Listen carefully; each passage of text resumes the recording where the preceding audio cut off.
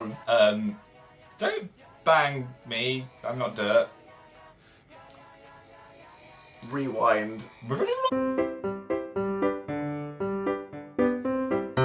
Goodbye, naked lady. Thanks for riding my arm. Okay. Can't Spank him. You can't. I mean, scold him. Do me up, Dan. I mean, whisker me up.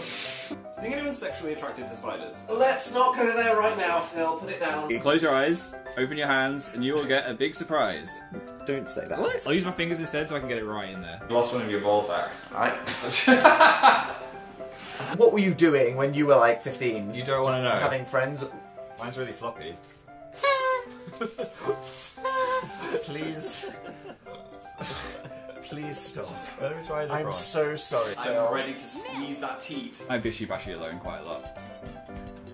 Um, so if you would like to. yeah, you hold as I beat. That sounded wrong. I think my flies are undone. Phil, that looks really bad from here. Stop right now. I've eaten two cockies. Cockies? Cookies since we last spoke. You loved it. You want to do it more. Alright. You can't go through the tunnel. As in, the tunnel of friendship. Are you kidding me? Are you actually kidding me? I'm so sorry. I'm so sorry on his behalf. Jesus. An anaconda don't want none unless you've got buns, hon. That was assault! The bosses in this game are impossible. That was a bit. Okay, um. What?